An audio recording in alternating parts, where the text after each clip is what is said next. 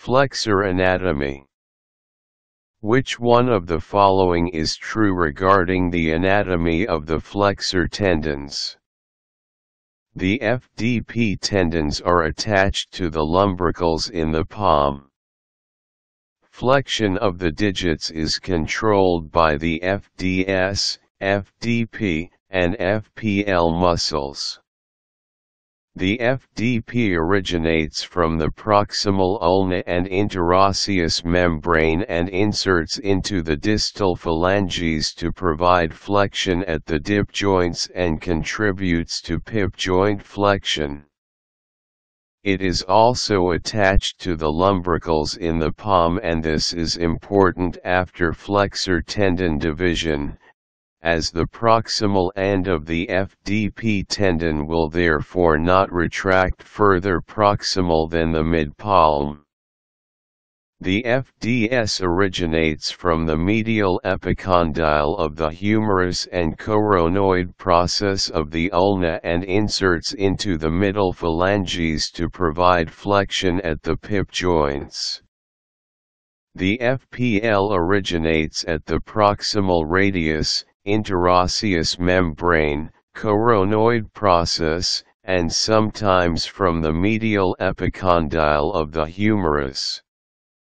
It inserts into the distal phalanx of the thumb to provide flexion of the IP joint.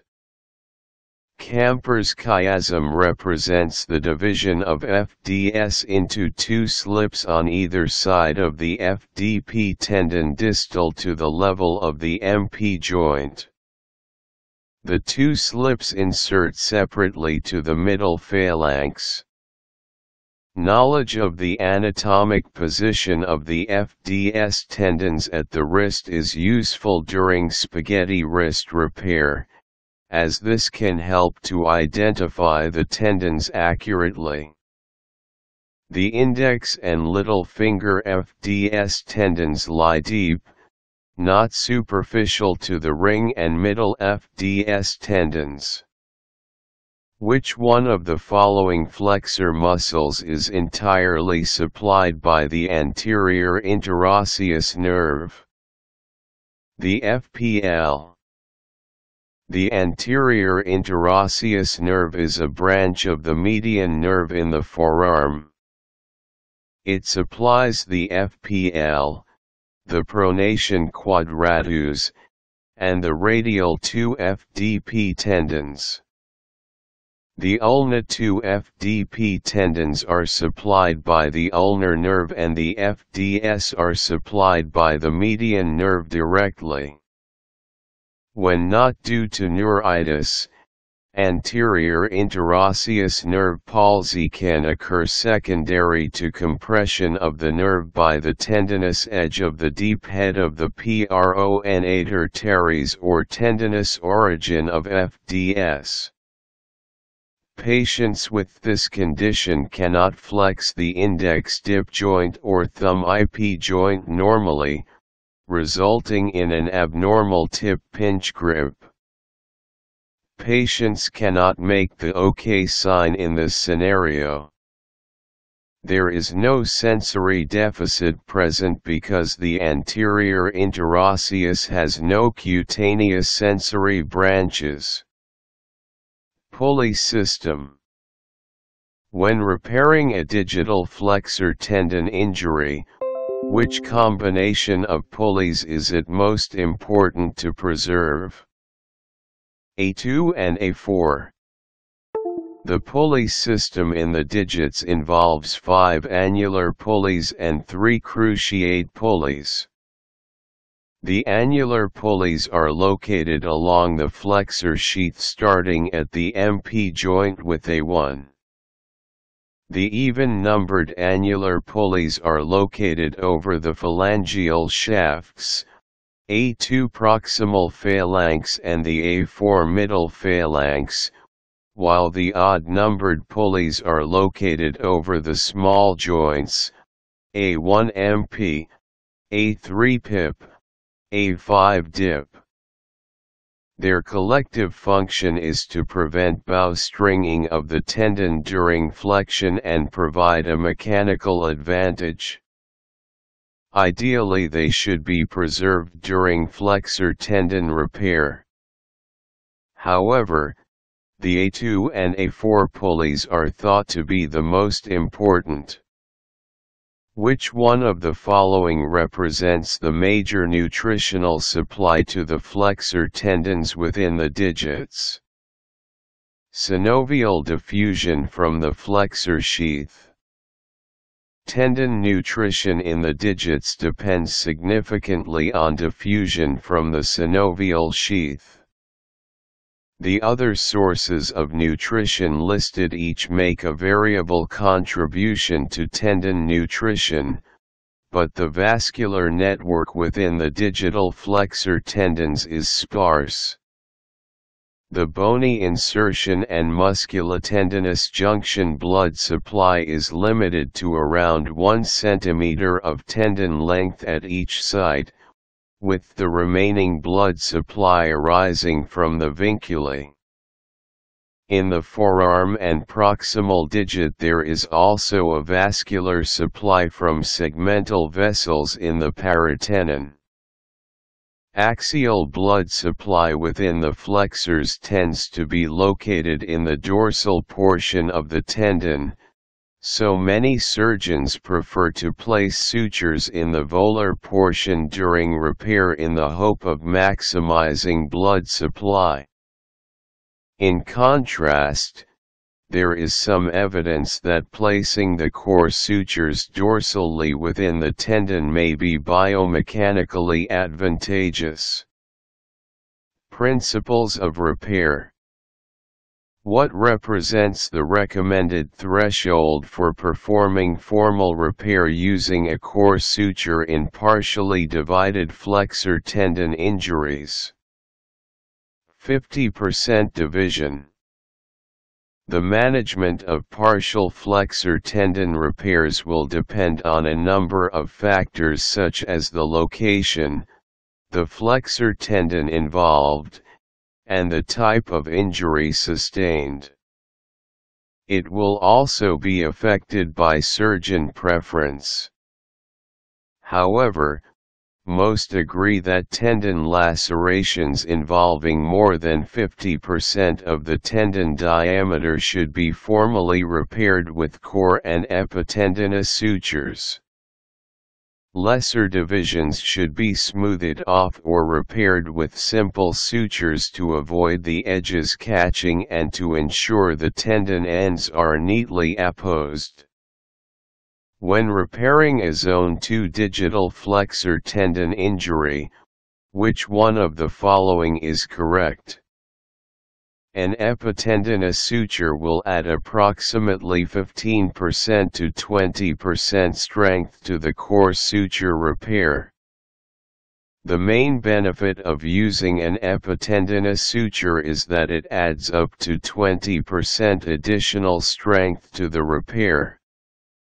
In addition, it helps to smooth the repair and improve gliding within the flexor sheath.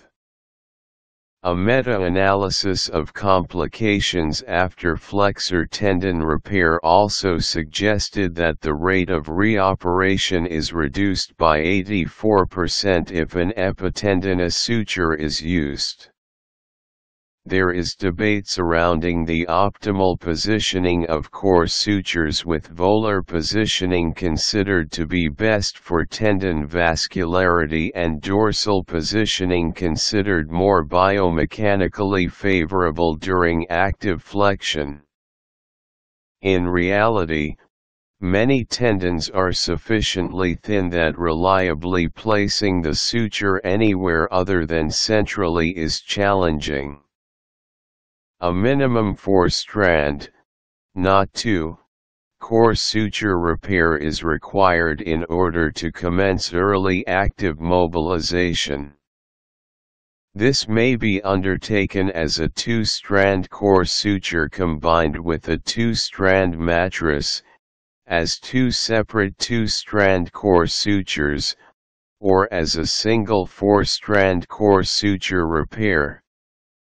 There is no definitive evidence that a four-strand single knot technique is superior to two adjacent two-strand core sutures. Some surgeons prefer to use a six-strand technique when the tendon diameter is sufficient to allow this. The core suture should ideally have 10 mm, not 5 mm, proximal and distal to the repair. A Pulvertaft weave cannot be used in primary tendon repair in the digit, as it would entail significant tendon shortening and would create too much bulk to fit within the tendon sheath. Zone I flexor tendon injuries. A 20-year-old rugby player is seen one day after sustaining a closed injury while grabbing the shirt of an opponent during a game he is unable to flex the dip joint of his right ring finger but is able to flex the pip joint. A radiograph confirms the presence of a bony fragment at the level of the pip joint. Which one of the following best describes this injury? Leddy type 2 Zone I closed avulsion injuries of the FDP were classified by Leddy and Packer in 1977 into three categories based on the presence of a bony fragment on radiograph, the blood supply, and the position of the retracted proximal tendon end. Additional fourth and fifth categories were subsequently added. The classification is useful to guide management. The patient described has a type 2 injury based on the bony fragment position and should undergo an open repair using a pull-out suture or bone anchor device. The modified Leddy-Packer classification includes the following, Type I, the FDP tendon retracts into the palm with rupture of both vincula.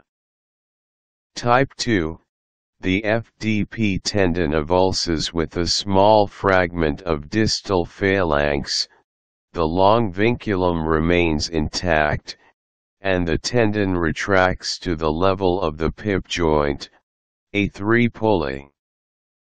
Type 3, a large bony fragment is avulsed with the tendon and is prevented from retraction beyond the middle phalanx by the A4 pulley. Type 4, an avulsion fracture of the distal phalanx combines with tendon avulsion from the fragment, along with tendon retraction.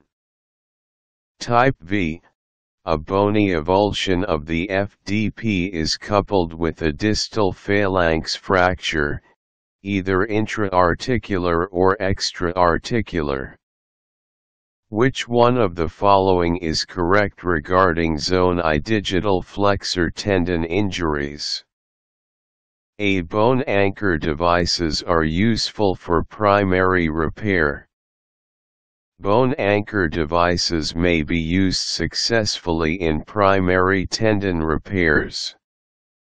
The outcomes using bone anchors are comparable to pull-out suture techniques. The recommended technique is to insert either a mini Mitek or two micro Mitek anchors at a 45 degree angle from distal slash volar to proximal slash dorsal, while taking care not to violate the dip joint surface or nail bed. When using a pull-out suture technique where the core suture is passed externally over the nail, a monofilament such as nylon or polypropylene is preferred. Braided sutures glide less well, are difficult to remove, and are also more prone to infection.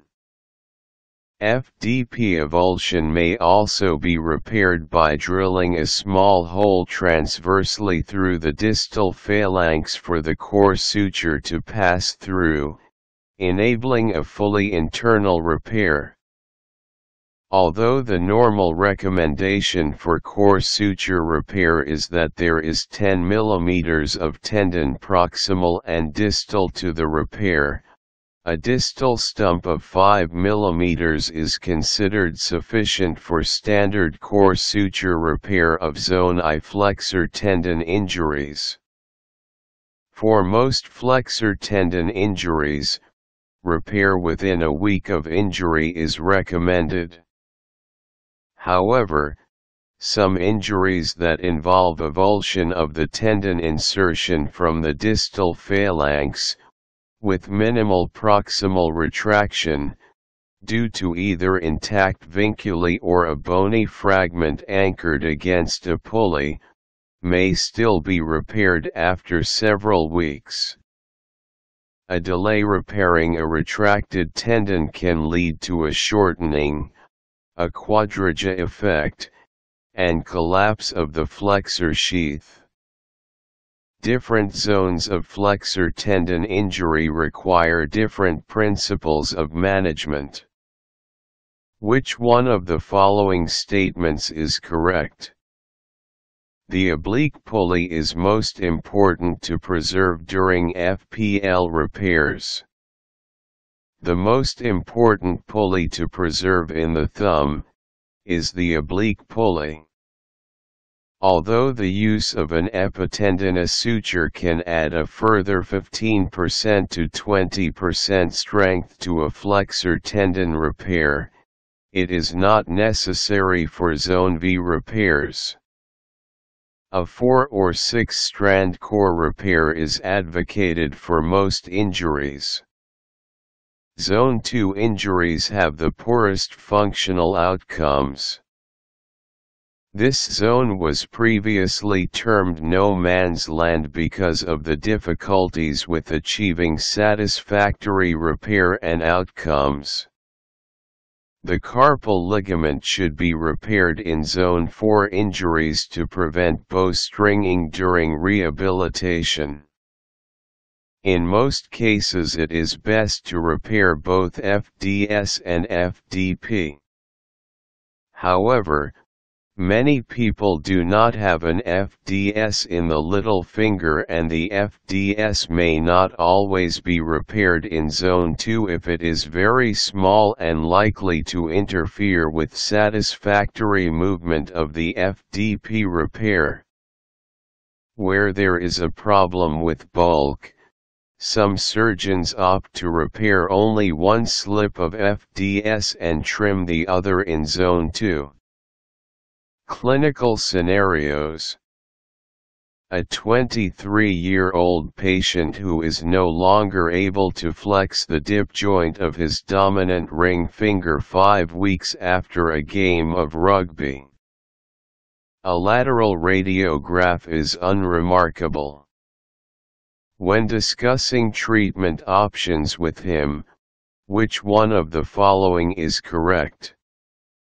Consent should be obtained for both primary and staged repair. This is likely to be a Leddy-Packer type IFDP tendon avulsion injury, with the tendon end lying in the palm. The FDP tendon does not usually retract to the wrist because of the lumbrical attachments and the tendinous interconnections between the FDP tendons to the four fingers. In this scenario, the window for successful direct repair is reduced to 7 to 10 days compared to type 2 and 3 injuries, because the tendon has lost both the vincular and synovial nutrient supplies, and the flexor sheath is largely empty and able to shrink down.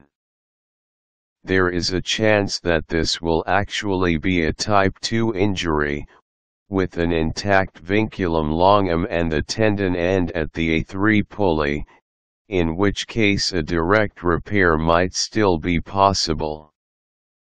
However, this is much less likely, and beyond four weeks there may have been sufficient musculotendinous contraction to lead to an excessively tight repair, causing a troublesome quadriga effect.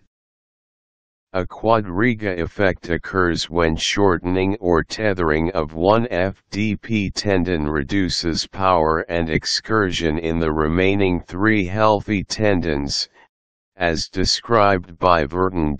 If a primary repair is not possible in a delayed presentation, it is not advisable to perform an immediate palmaris graft, because the sheath is usually scarred and contracted.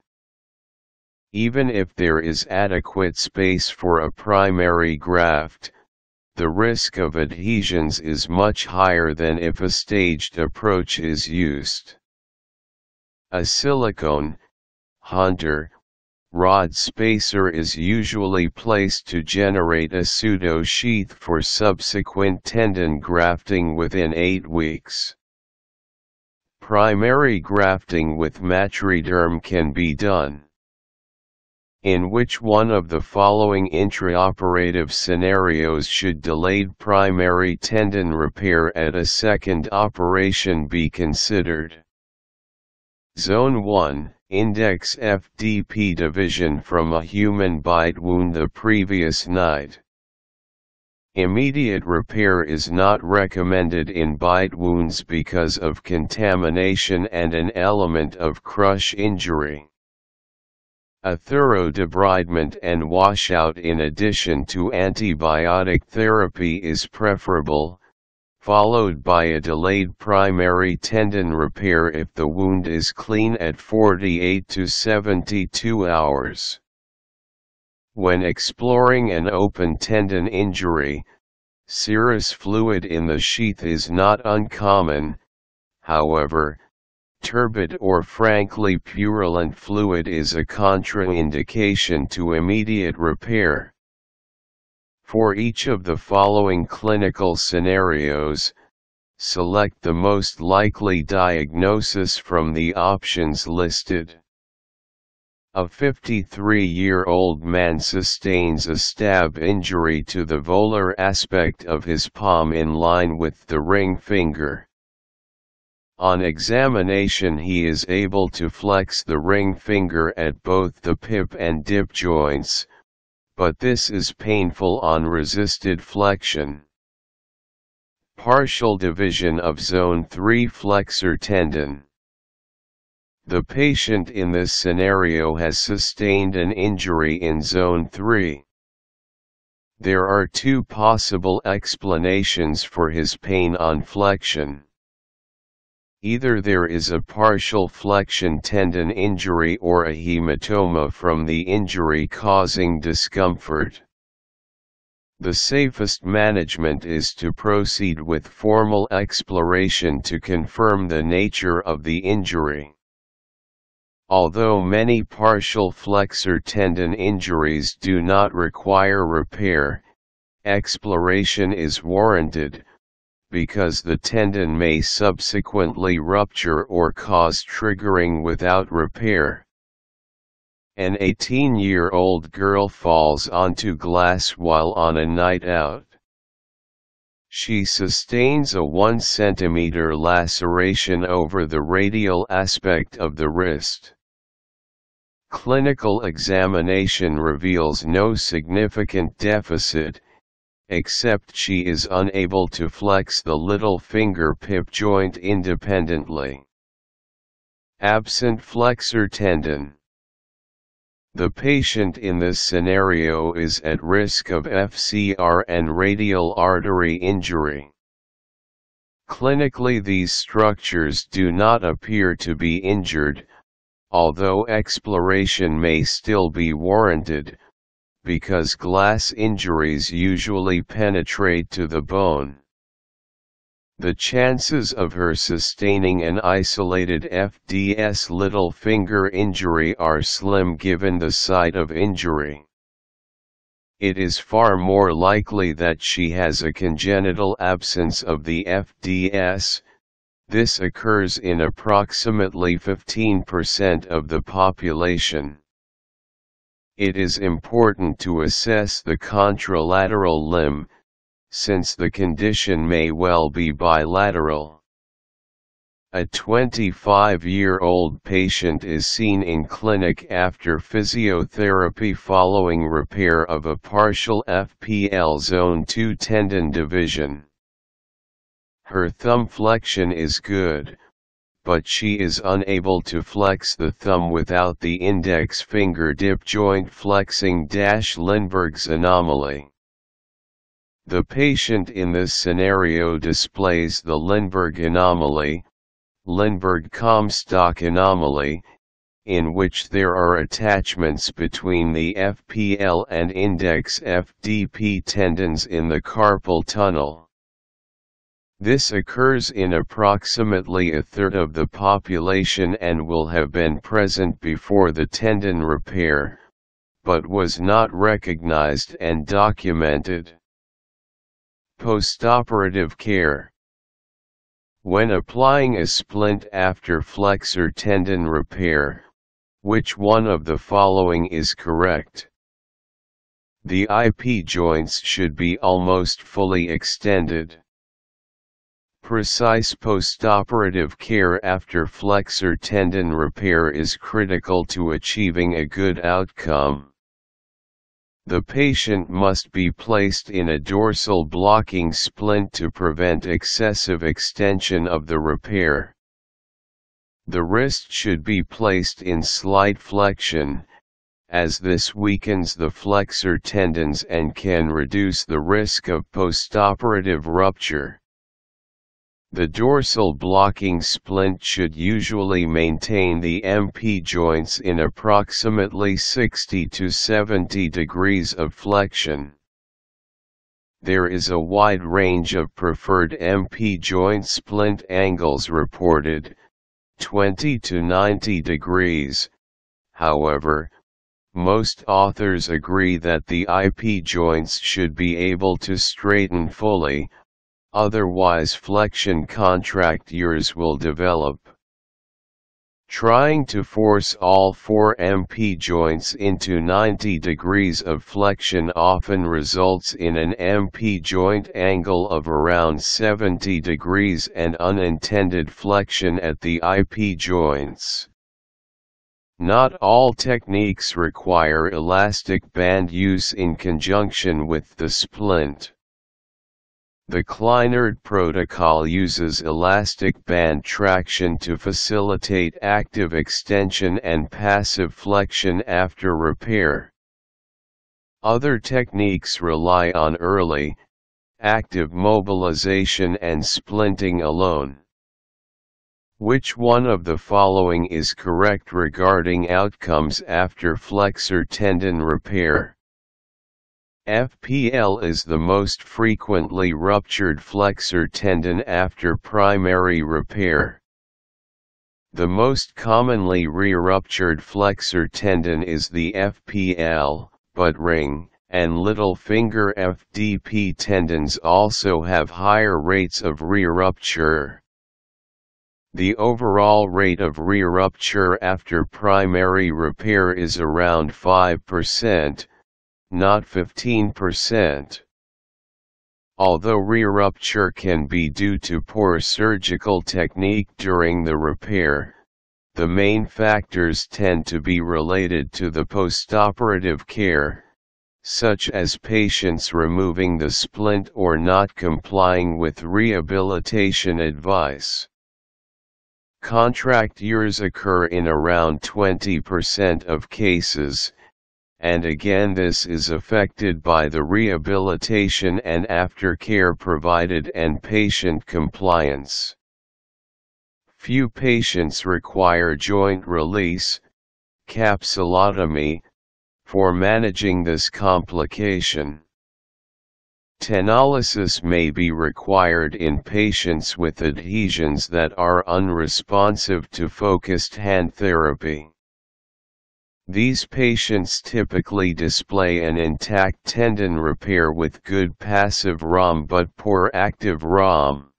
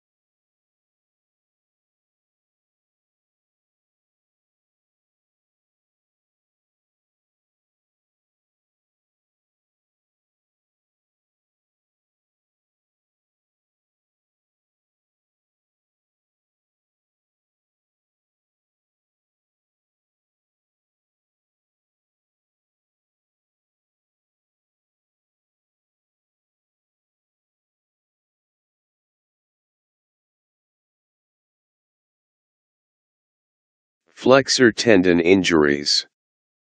Arrangement of flexor. Digitorum profundus, FDP, and flexor. Digitorum superficialis, FDS, tendons. Within the flexor tendon sheath. Sheath. Fig 69 to 2 components of the flexor tendon sheath. A 1A5 are annular pulleys. C1 C3R. Cruciate pulleys. Tip, mnemonic, proximal proximal and middle middle. And transverse fibers of the palmar aponeurosis make up the PA pulley, also known as the A1 pulley. Tip the A2 and A4 pulleys are the most important components for proper flexor tendon.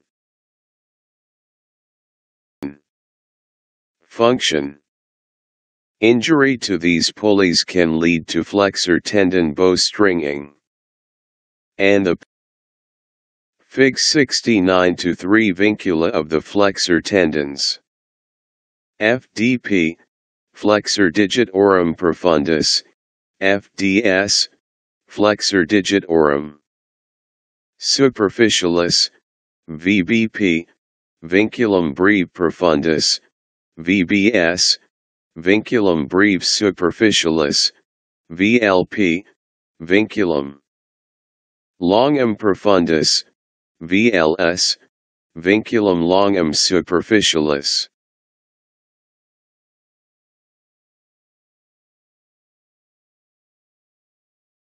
Superficialis.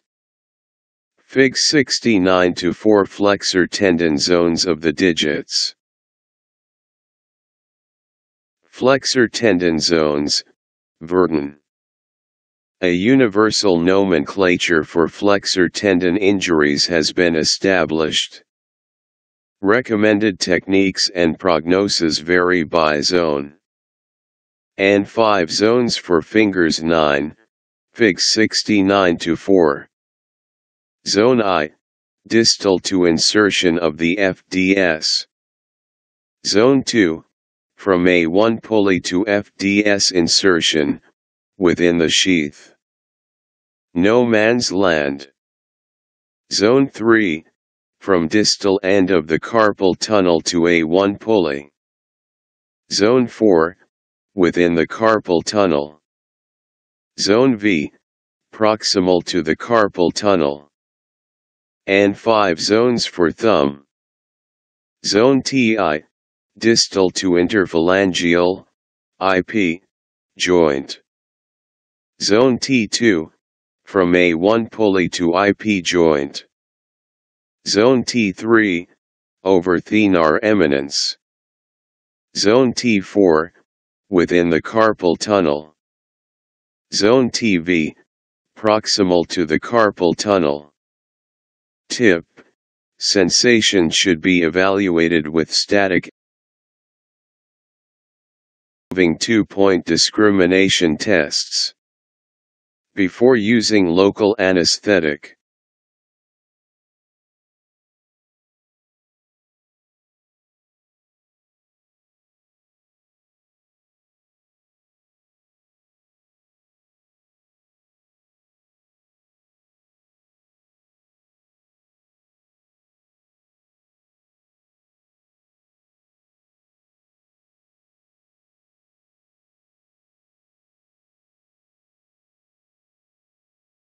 Tip Emergency flexor tendon repair is not required unless the digit is devascularized.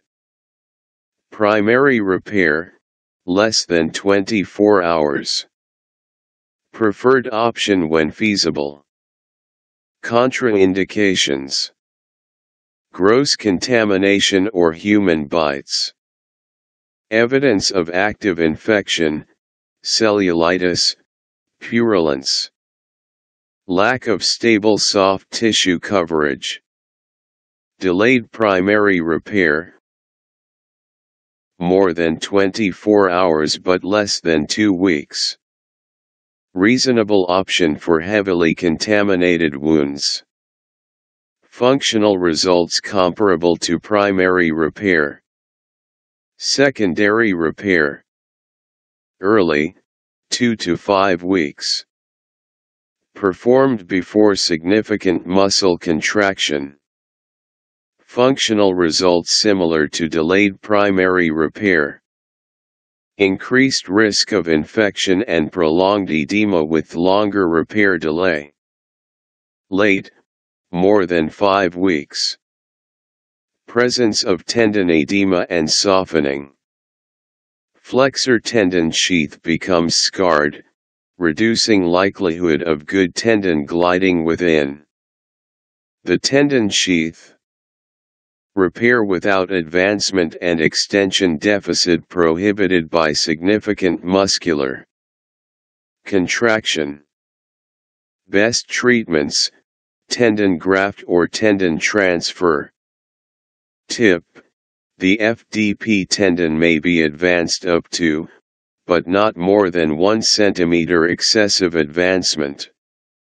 Creates a quadriga effect in which a flexion deformity appears in the repaired digit, and the adjacent digits have limited active flexion. Tendon grafting Segmental tendon loss or muscular contracture necessitates grafting for repair. Single stage requires adequate tendon sheath and pulleys, soft tissue coverage, and supple joints. Common donors Palmaris longus, 13 cm. Plantaris, 31 cm. Extrinsic third or fourth toe extensor, 30 cm. Two stage, used when tendon sheath is scarred or unusable. First stage. Native tendon is excised. Pulleys are reconstructed as necessary. A silicone rod, hunter rod, is sutured to distal FDP tendon stump. Rod induces formation of a pseudo-sheath with repetitive passive motion of the digit. Within approximately 8 weeks. Second stage. Tendon graft is sutured to the distal end of silicone rod and pulled through pseudo-sheath. The proximal juncture to the native FDP, or FDS, tendon is made with a Pulvertaft weave. The distal juncture is made with a pull-out suture or suture anchor to distal phalanx bone. Tension is adjusted so that the cascade of fingers is slightly tighter in the grafted digit. If the tendon graft is placed too loosely or if it is too long, it can result in a lumbrical plus deformity. Fig 69 to 5 Surgical exposure of the flexor tendon sheath. Modified Kessler technique. Indiana technique. Six strand technique. Fig 69 to 6 Popular core suture techniques. For end-to-end -end tendon repair.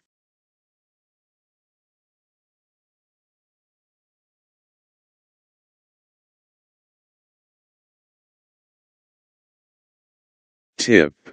A monofilament pull-out suture is easier to Tip. A monofilament pull-out suture is easier to remove and less susceptible to infection than braided suture material. Key, Key points The best results are associated with early repair. Flexor tendon repair should be performed in the operating room, with a tourniquet and loop magnification. The FDP tendon should not be advanced more than 1 cm. proper splint placement and postoperative rehabilitation are as important as operative technique.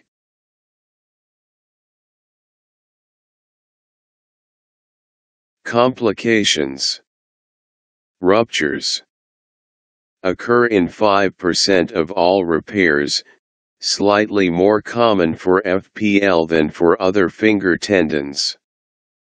Immediate exploration and re-repair recommended. Recurrent rupture best treated with secondary tendon reconstruction, tendon transfer, or arthrodesis. Adhesions Limited range of motion and function caused by postoperative and post-injury scars between tendon and surrounding structures. Increased likelihood of adhesions with prolonged immobilization and severe injury. Consider tenolysis if more than 3 to 6 months have elapsed since the tendon repair. Tendon repair is intact, but there is a large discrepancy between total active range of motion ROM, and total passive ROM. Soft tissue is supple with normal or near normal passive ROM. There is no appreciable improvement in active ROM after 4 to 6 weeks of aggressive hand therapy. Contractures. Affects 17% of flexor tendon repairs 26. Prevention and treatment primarily with splinting. Open or closed capsulotomy reserved for severe and recalcitrant cases.